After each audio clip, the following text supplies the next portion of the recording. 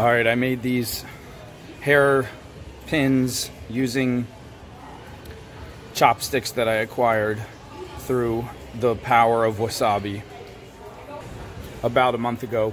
But since I don't really sell hair ties and I don't really have others to go with them or a way to display them, I've just kind of had them sitting here thinking, you know, what do I do next? And of course, I, I could sell them, but I think I really love these crazy patterns I came up with just on the spot. And I think I'm going to take them off of this these chopsticks and I'm just going to make them into necklace pendants. So let's see. How do we do this? They're on here pretty tight. Let's see if we can wiggle them off. Ooh, this one's wiggling right off. Almost. Yes. Haha, that was easy. There we go. We didn't have, harm the chopstick at all. So therefore it can be used in future battles. And this is pretty much, let's move these out of the way. This is a, um, really cool shape the way it is, I think. Maybe you think it's horrible, which I don't blame you, but you just got these, this part on the back so if you if it was laying against someone's chest, it would kind of wobble back and forth. It wouldn't lay flat, which is what we want. So I think if we just flatten this part, we also want to make sure it's stable now that it's not on the um, chopstick. It might be a little flimsy here and there. It's pretty pretty strong. There's a little give right there. So this might take care of it when we flatten this part. So I'm just going to come here and gently start to flatten these loops Maybe I can do it with my fingers. I'm learning as I go. Like, I, I didn't practice this or plan it or anything. I just turned the camera on. That's what I do half the time because I want you guys to know that, like, um, just dive in and do stuff. Like, stop, stop worrying about all the metrics being perfect. So I'm to fold this one up like that because it's just, you know, out there too much. And you know what? I kind of like the three-dimensional aspect of this whole part. I think I'm just to lay it flat like this and kind of bend the outer parts down around it so it can kind of lay flat. Maybe push that up a little bit.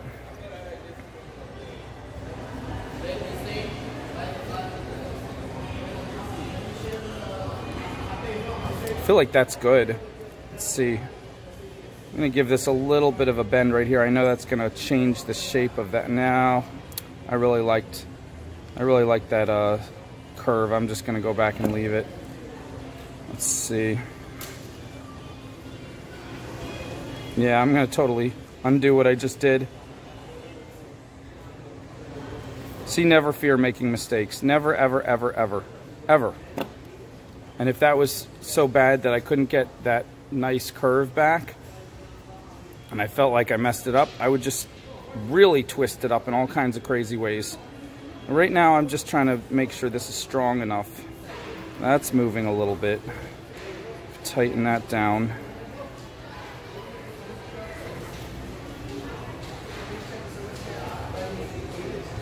Think that's pretty good. So that's like a pretty cool pendant without needing any stone. Maybe we could put a few stones in there and that would strengthen it up.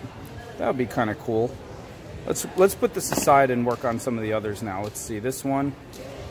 Very cool. Let's, what happens if we uh, Give it a little bit of a twist. Oh, I might lose this chopstick here. I hear some little noises. This one might not go without a fight. Nope, it's coming. Here it goes.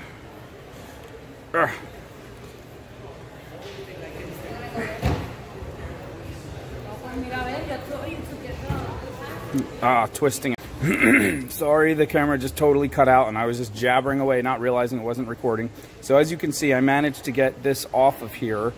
And then I started to stretch out. I started to flatten this coil that was going around the chopstick. I was gonna make a cuff, but then I said, you know what?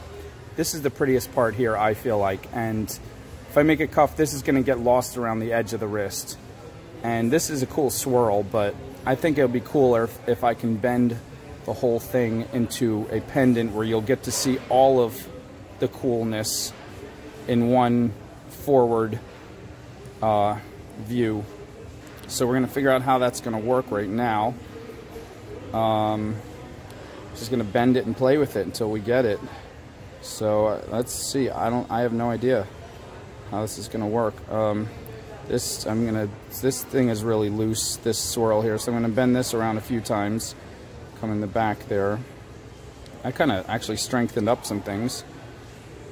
Now I could just have this as a pendant like that, bam.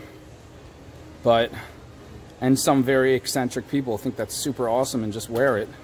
Maybe you're one of them. But um, want to make it a little bit more, um, like not quite as stretched out and long. A little bit more in the more conventional shape of an oval that most pendants seem to take. Now that's bunching up. That doesn't look any cooler. I like, hmm. Maybe if I can, ooh, turn that into like an S Bend that that way. That's kind of cool. That's kind of flimsy there.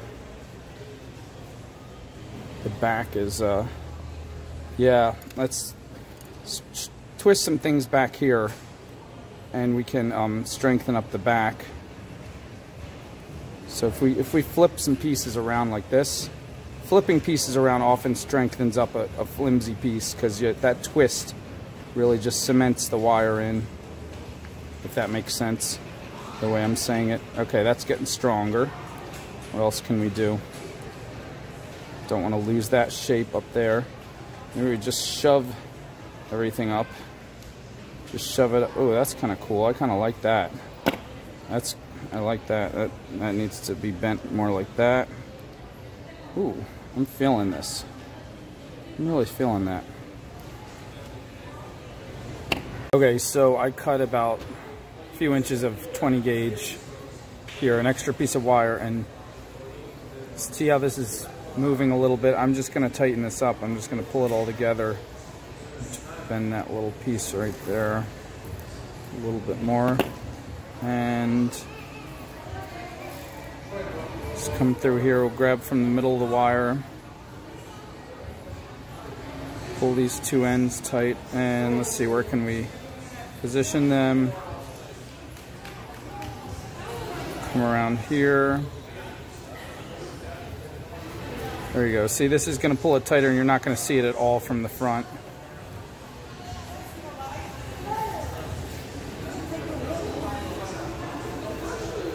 So I love copper is really soft, unlike some of that bad silver where it gets really kinky. Soft wires, you can do so much with it. Just because it's soft doesn't mean it's not, it's, whoop, doesn't mean it's not strong. You can, um, because it's soft, you can bend it in more ways and you can strengthen it by the way you, you uh, design your piece. Anyway, uh, okay, so this, that's right there. I'm gonna come around here.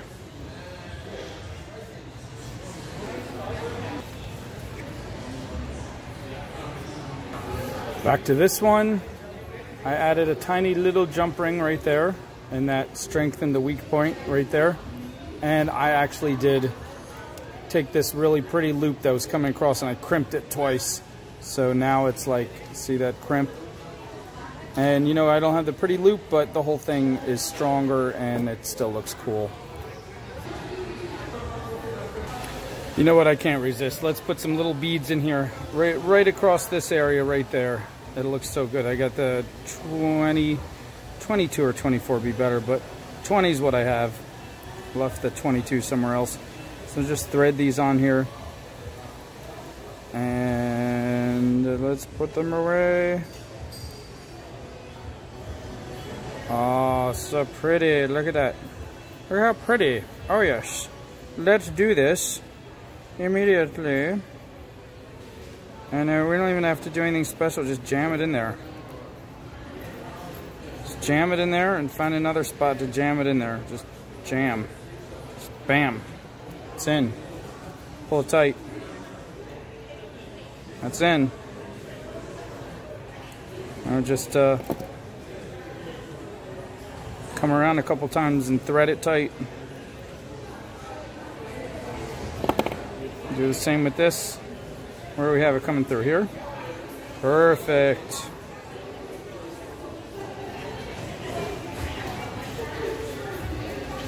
Hope that got on camera.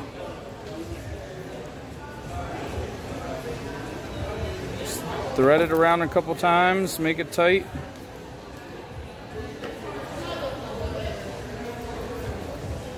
So cute.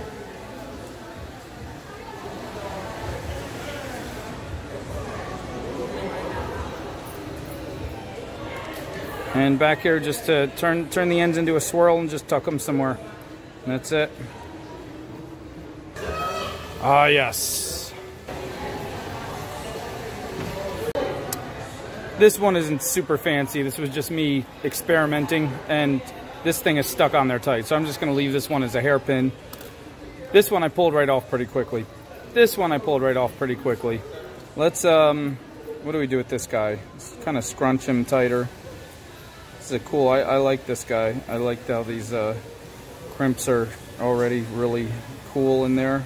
Make another one. Let's play with that a little bit. Here we go. That's nice and super weird. So what do we do with this one? Whoa. I think just uh, smushing it is turning out to be the best answer. This is just, this is called jewelry smushing 101. Just twist it and smush it and smash it. Smush and smash. Smush and smash. This one needed beads too, and I like that. Okay, so I added a few more beads. You can add as many as you like, of course. But here's the end result. I'm very happy with these, and I think some people who manage to acquire them are going to enjoy them very much. Hopefully.